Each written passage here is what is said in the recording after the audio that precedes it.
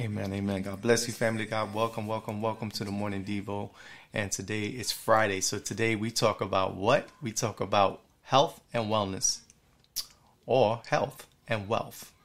Whatever the case, amen. I think that Friday is a good time to reimagine yourself, to reinvent yourself, to re identify yourself in the things of God. Amen. Before the weekend comes to try to smash all the ideas and all our dreams and try to take away the purpose that God has for us. Because the weekend opens up opportunities that normally wouldn't be opened up all week, right? During the weekday, usually people, if you're working nine to five, if you have a, a job that you work for somebody else or you have a business, you're usually open during the weekdays. Amen. And not a lot of people are fortunate to work anytime they want. So when the weekend comes, it seems like it's kind of like a, a celebration. It kind of like takes away uh, the anxiety, the, the struggle of the week and gives you like some kind of comfort and relaxation. That's if that's you. Uh, my work schedule is a little different. Amen. I'm pretty much independent. I don't work for anyone. Uh, all glory to God. And it's been that way for close to six years. But when the weekend comes, it still does something to my mindset as well. It opens up other things and different times of doing things during the weekend that normally would not be there during the weekday. Church is one of them, right? On Sunday is part of the weekend, right? We have church services. So that opens it up. Um, during the week, it wouldn't be open normally as Sunday would open up for church and stuff like that along those lines. So we're here today. Amen. Uh, we're going to be talking about what really was really important that a lot of people um, really don't talk about much anymore. I don't know why, but mental health. Amen. Uh, my niece, Nevaeh Galan, she has a podcast. Um, and she just spoke about that on her podcast as well. You can check out all the podcasts that we have at um, on the network, right? Selah Radio Network, and check out the podcast on there as well. Amen.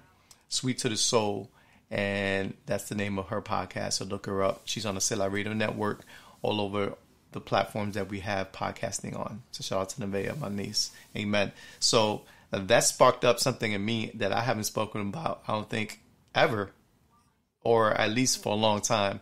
Mental health. What what happens in here, right, will activate what will happen in your body, physically, emotionally, spiritually. Amen. So, of course, mental health has been attacked, especially the past three years with the whole COVID pandemic and all this other stuff.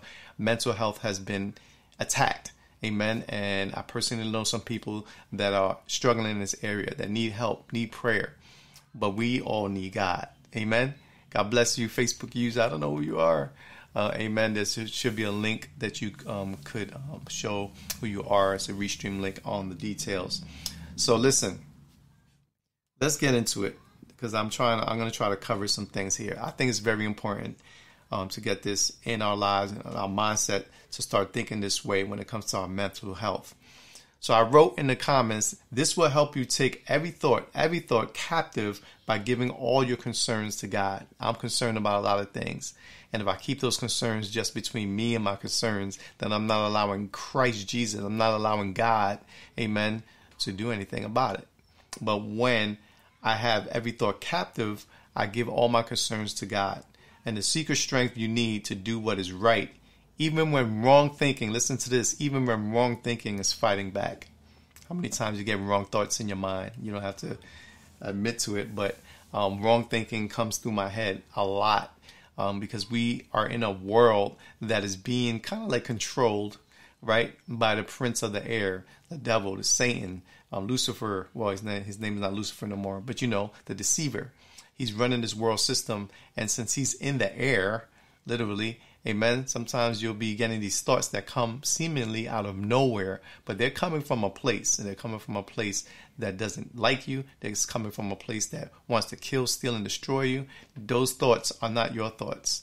So you can't be too hard on yourself when you're having a great day and all of a sudden these wrong thinking patterns slide through your mind. Amen. Like really fast, rapidly but God is faster than that. Amen. And God created our imagination, which is the fastest nation in the whole universe, is our imagination, the images that go through our minds and through our minds, through our heads. Amen. So, with that, I want to say that welcome to the Morning Devo, the Wellness Devo Friday. We're talking about mental health. Amen. So if you have any questions, comments, concerns, or any prayer requests, don't hesitate to leave them right here in the live chat. Amen. So that way we could um get into this real quick. Let me give me one second. I have to tell my daughter to lower her uh, computer. She's in school right now. Give me one second. It's a very annoying and I, I can't concentrate. I can hear it too much. Hold on. I'll be right back.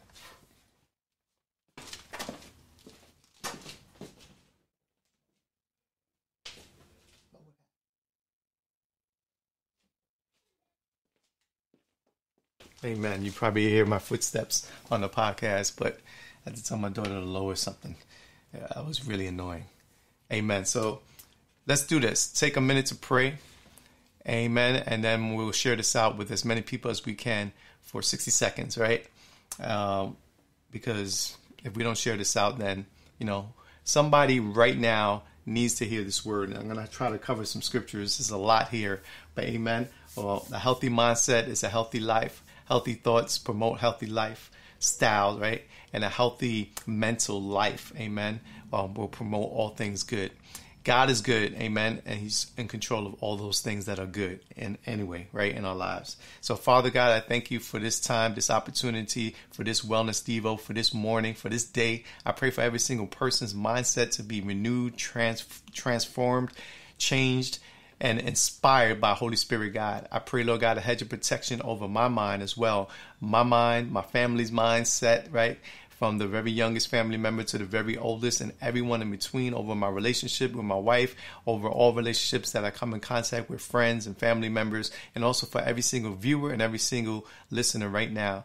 I pray, Lord God, that you speak to us and that you engage our thoughts and that we would learn how to take our thoughts and put them under the obedience of Christ Jesus. I thank you, Lord, that you have renewed our mind according to Romans chapter 12 and that we have an opportunity to get a new mindset mindset right now to think things through. And whatever we don't understand, Lord God, we could bring those thoughts, those ideas, those concepts, those concepts, those religions that we don't understand and bring it to you for clarity because your thoughts are way above our thoughts. So I speak life concerning all things living, come against any demonic distraction in the name of Jesus over our lives, over our minds, what we say, what we do. I pray, Lord God, that you would give health to our body, strength to our bone, and a clear mindset a blameless mindset. Amen. That you renew and restore everything that needs to be renewed and restored in the powerful, mighty name of our Lord and Savior, Jesus the Christ. Amen and amen. Let's take 60 seconds when we come back. Uh, I'm going to first go in Romans 8, chapter 5. No, Romans chapter 8, verses 5 and 6. We'll really start there. Amen. As we go into this mental health on the morning Devo, Wellness Devo. I'll be right back.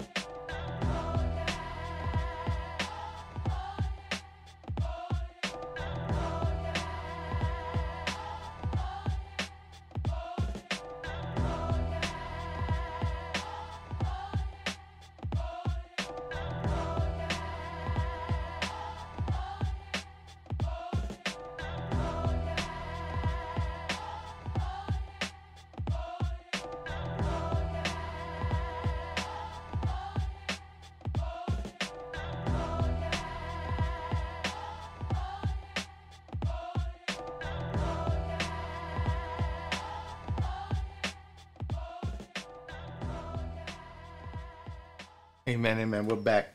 Romans chapter 8, verses 5 and 6. Let's go there real quick.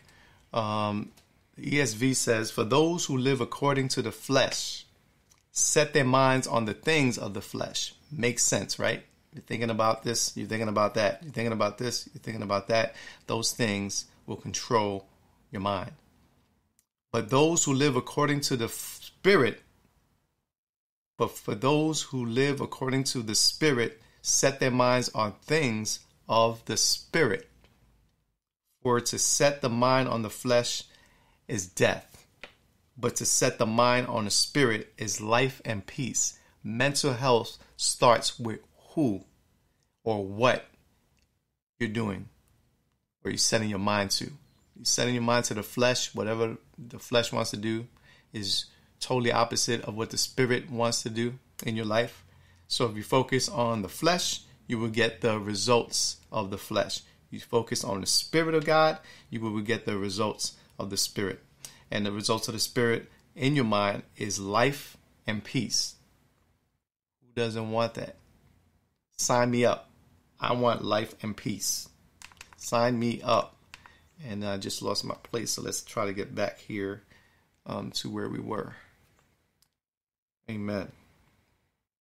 Let's go back here. Oops. And forgive me, let me get back to where I was. Thank God for uh, where I was. Amen. So, whatever we focus on, Bible says, whatever you join to, you will become like. In the same way, in our thought process, whatever we think about the most, we will want to do the most, or we want to be like the most. So if you think about the Lord and His Word the most, amen, you will become more like the Word in the Lord. Sounds new age, amen. But I want to get back to where I was so I could show you what I'm what I'm trying to say in a better way.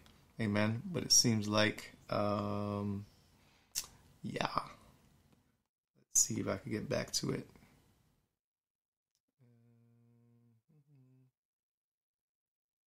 Here, here we go.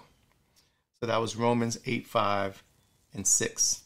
How about this one? Philippians, and let me um let me do this to make sure this stays where it needs to stay. Let me try to see if I can open up another one. Nope, I can't. So all right. All right.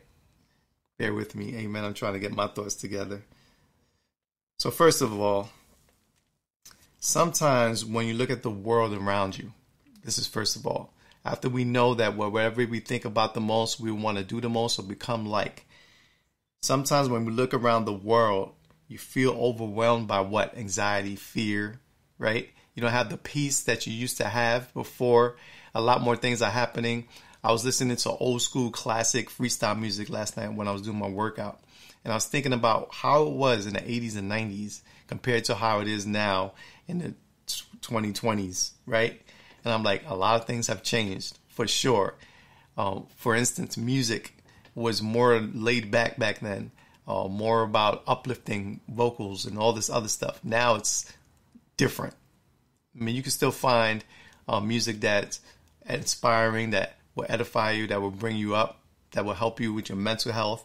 Um, but a lot more than often, it's not like that. Amen. So I'm trying to figure out, you know, how people used to say, you know, those were the good old days. I used to say that too, but I don't believe that anymore. Today is the good day. Amen. And it doesn't have to be 20, 30 years ago that you have to say, man, I wish I was back there because of what we think and how we allow God to work in our thought process. Today could be the best day of your life, according to the scriptures. Amen.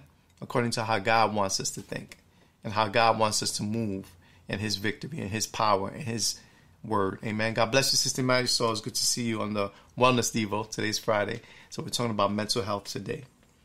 Amen. I'm so afraid to press this next button because I think this is going to take me away from where I'm at.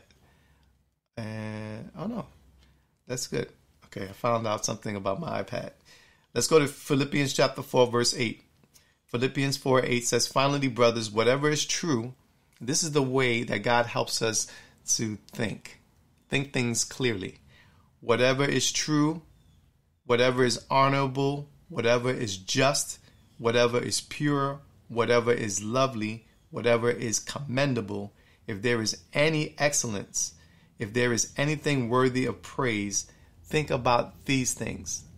You ever woke up with all these thoughts of negativity? You ever have uh, a relationship with a person who always speaks negative words? That's because they're allowing their mind to consume these negativities, these consume these negative thoughts and negative mindsets, and they're probably hanging around with people of like minds.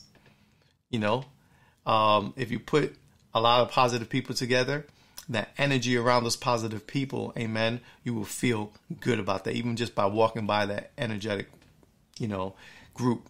But if a group, you're hanging around a group or if you're in a group that's always negative, you will feel that type of vibe as well. Amen.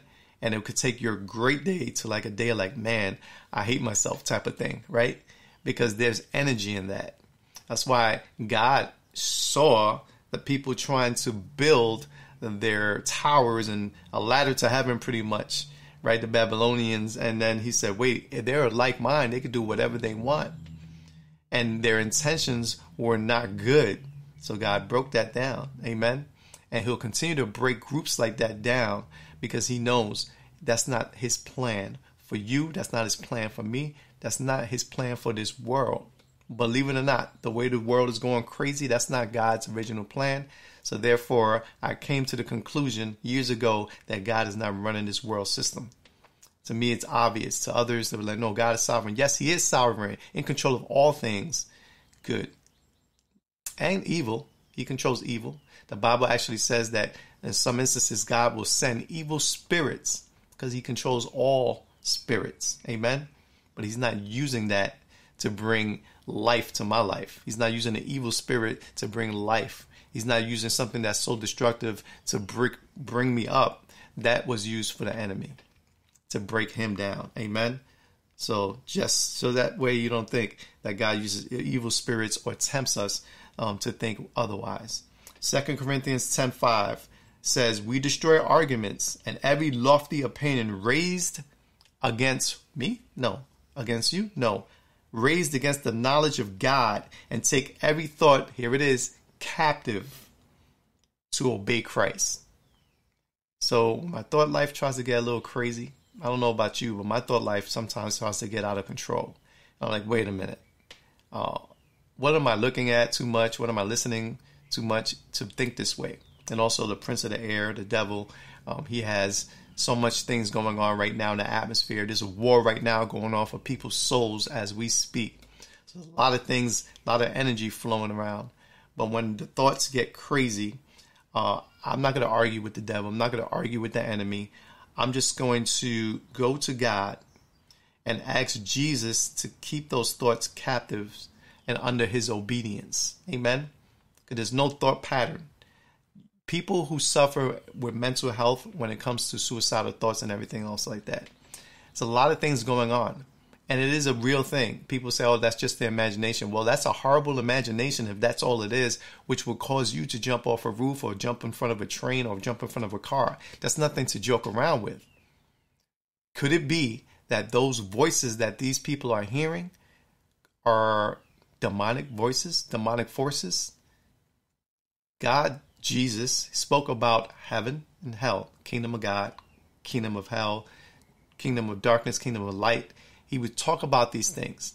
He would talk about what was going on in the spirit realm. He would speak kingdom. He would lay hands on people and cast out demons. Where did they come from? How did they get there? Were they spoken to someone? Can a demon transfer and all? These are some topics that people just brush through. Said, no, that's all in the movies. And meanwhile, people right now struggling in their mind. Amen. It's no joke. But a healthy mindset promotes a healthy and wealth, uh, wealthy lifestyle. Amen. And to get the pure health, to get the pure wealth, to get the pure prosperity, amen, we have a God of heaven and earth that allows us to experience all those things. So, how could you take control, right, of your mindset, of your thoughts? A lot of Christians struggle with this issue, and a lot of people in general struggle with this issue. Proverbs 4:23 says, "Above all else, guard your heart, right? For it is the wellspring of life." The heart includes what? The mind, all that proceeds from it. Someone said that every sin we commit, we commit twice. Once in our thoughts, and again when we act upon those thoughts. That's how powerful our mental health is. Uh, our bad mental health will cause us to do bad things. A healthy mental health will cause us to do good things. But it's still a struggle, still a fight. I don't think the enemy will ever be on our side. I know the enemy will never be on our side. He would try to make what's right and he would call it wrong. He would try to take what's wrong and make it right. But last time I checked, right, the equation of what's right is always right. The equation what's wrong is always wrong. So right will always be right. Wrong will always be wrong. Wrong will never be right, and right will never be wrong. So we have absolutes, and we have the Word of God on it. So our mental health has a lot to do with what God says over our life. Can you imagine listening to what God says more than who you're listening to over your life? I'd rather have the God of heaven and earth speak into my life than the God of this world speak into my life. For so long, I was listening to the God of this world before Jesus saved me, and I was biting on the rotten apple, you know, just to use that as an illustration. And it seemed right. It seemed like whatever I was hearing, whatever I was hearing from, was right. And then so God came into my life, changed my life, and rescued me and renewed my mind. My mental health started getting better. Amen. Because my mental health was crazy bad. Amen. Juan Class, God bless you. Good morning. God bless you. Asking for prayers for the lost grandma, aka my mom, please. Thank you. Amen. So let's stop right now. Let's pray for Brother Juan. That's tough. Um, lost my grandma. It's tough. I remember when I lost my grandmother. I've lost both my grandmothers on both sides. My my dad's mom and my mother's mom, and it's it's tough. So Father, we pray for um, Brother Juan and the class family. I pray, Lord God, peace, comfort. I pray, Lord God, during this time of loss, uh, that you would show up in the situation, show up in their hearts and minds, and give them a sense of joy of the life that was lived by this grandma. I pray, Lord God, that you will bring joyful thinking to this situation, although it's sad and we mourn and it's a time to mourn. There's a time for laughter. There's a time for all of that. But I pray, Lord God, whatever Juan needs in his life right now, that you will fill that whatever he needs in his life. I pray peace. I pray, Lord God, the power and the comfort of your holy angels to be with him and his family during this time, and everything that needs to be handled will be handled according to your purpose and plan. And I thank you, Lord God, for his grandma's life. Thank you for giving her life. Thank you for giving her long life to be called a grandma. And I thank you for the power of prayer. Uh, I pray by faith, knowing that you could be the comforter, be the hope, the joy, the peace uh, for Brother Juan during this time. In Jesus' name, amen and amen. Thank you, Brother um, Juan, for being honest and sharing that. It's not easy. Um, that's why I stopped right away because it reminded me of when I lost my grandmothers. It's not easy, man. Losing a loved one is not easy. And listen, the pain that we feel when someone dies we feel it because it's not supposed to be. It wasn't never supposed to be that way. No one was supposed to die. God's original plan for us was to live forever. But Genesis chapter 3, you can read it for yourself. Um, there was a, a, problem. And because of that problem in Genesis chapter 3, um, sin, sickness, disease, death entered into um, the world. It's just the way it is. So bless you, Brother Juan. Amen. Um, so we commit sin twice, some people say, once in our thoughts and again when we act upon those thoughts. So it's easier to rid our lives of sin if we attack it first. If we attack sinful nature according to how it thinks, amen, we have the remedy. We're going to not think about the sin, not going to think about um, those things as much as we think about things that are heavenly, things that are righteous, things that are right, things that are full of joy, hope, mercy, grace, the Lord Jesus, reading His Word. I believe in, a lot of people don't believe this, but I believe in replacement theology. I believe that we could replace what's bad with what's good. I believe we could, we could replace bad words with good words, with God's Word. A lot of people don't believe that. Amen. I know in my personality, the more I consume, whatever I consume the most will come out of my mouth and the Bible backs that up. Whatever you put into your heart, right? Out of the abundance of the heart, the mouth speaks, the word of God says. So if you catch me cursing somebody out, that that came from somewhere. I was feeding on something. I was filling my heart with bad words, curse words. But if you hear me saying things of peace, things of word of the word of God, amen, then the evidence shows that I was consuming the word and I was speaking the word out of my mouth because of it. Amen. You are very welcome, Brother Juan. Amen. God bless you and your family, man. There's a difference between being tempted by thought, right, into the mind and sinning. If you dwell on the thoughts too long or long enough, it will cause you to physically. So uh, a thought is actually spiritual, right? we can't see your thoughts. I don't think you can see your thoughts. I mean, your thoughts could paint images in your brain and your mind, but there you goes the thought. I can't catch it. I saw a thought, but I can't touch it, feel it, but you know it's there. You know, that's another way to explain God to those who don't believe. But the thoughts, if we dwell on those thoughts, those thoughts actually could compel us, can convince us, manipulate us to sin. So dwelling upon an evil thought and continually staying there will cause you to sin. But there's a difference between being tempted by a thought entering into the mind and sinning. So it's important to understand that when a thought enters our mind, we examine it based upon God's word, not based upon this world system. And then we can make a decision. Should we continue down that path or reject that path of thinking? Amen. Replace it with another thought. That's what I believe. I, I believe in replacement theology. I believe that we could replace a bad thought with a good thought. I believe we could take a blessing. Amen. If somebody curses us, we replace that with a blessing. Or if somebody comes with negativity, we replace that with positivity. I believe that with my heart. My personality shows that. Amen. It works in my life. Amen. And I know it sounds weird, but I do that. Uh, even with money. Right now, um, the funds weren't where it's supposed to be, but I knew it was coming. I just forgot that it was coming, and I had a way to replace those finances. And I come all this week, I completely forgot until the calendar hit yesterday, and I was like, "Oh wow, that's right. I was supposed to do something different this week uh, to replace. I believe in replacement theology. Replace those things that were missing. Just the way I am. Hopefully that'll help you out if you if you think about it. Change the path of your thoughts, even if it's hard to change it. Here are some biblical suggestions for taking control of our thoughts and getting our mental health corrected. Be in God's Word. That's number one. Sounds corny, sounds relevant to a lot of people. Some people say, ah, the Word of God. The Word of God has power. Listen, the Word of God, when you read it, it's the only book you ever read in your whole life that every time you pick up the Word of God, the author of the Word is with you every single time. No other book could do that. Amen. Be in God's word so that when a sinful thought enters our mind, aka a temptation, we will be able to recognize it for what it is and know what course to take, what action to take against it. Jesus in the wilderness, Matthew 4. For an example, right?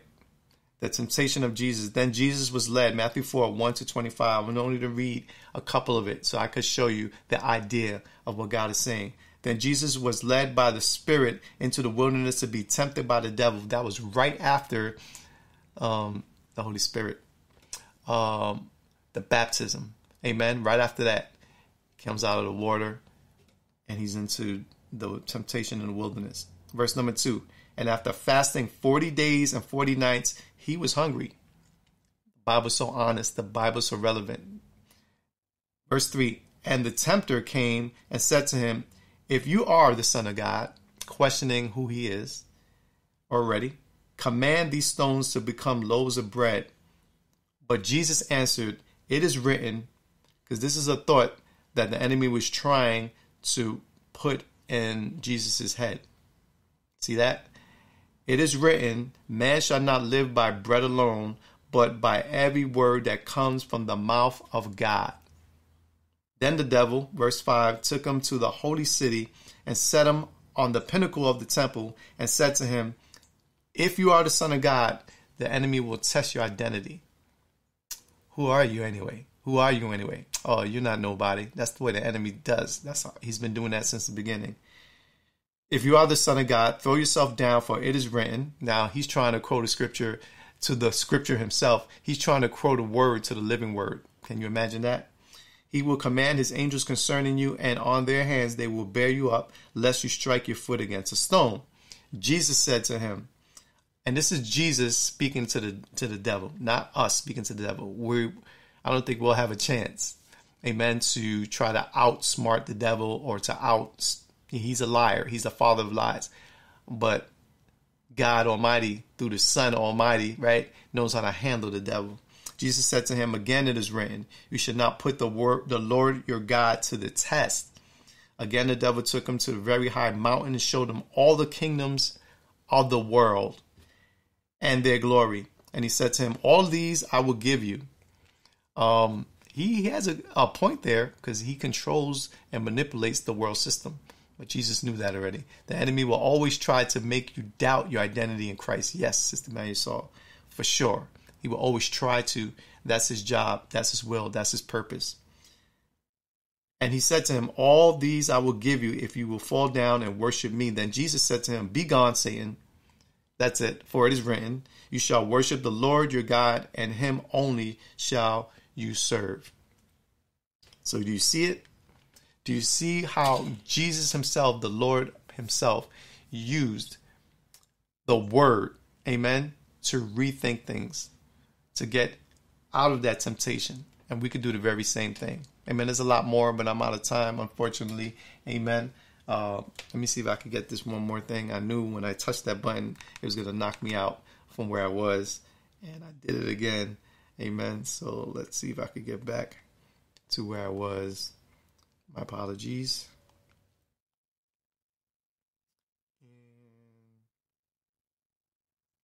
Yeah, yeah, I can't get back to where I was. I I lost where I was, but let's see. Yeah, I lost where I was. My apologies. We're gonna have to do a part two of this there's a lot of good sauce in here. Amen. So mental health is very important. That was my point of this whole thing. Amen. And I'm gonna have to do a series on this because there's a lot more here. And I got too excited, started pressing too many buttons. I lost my notes. But I'm out of here anyway. I hope you have a great weekend. I hope and pray that the peace of God will be upon your life and whatever thoughts that are hindering you from doing something good, amen, you will go to Christ and keep those thoughts obedient under Him, under His reign and His rule, amen. If you need me during the weekend, instant um, DM me, live chat me, amen. Get me on the website, however you want. Let's stay connected because we need each other. Pray for me and my family. I'll continue to pray for you and your family. So God bless you, God keep you, and remember always that God is good. Peace.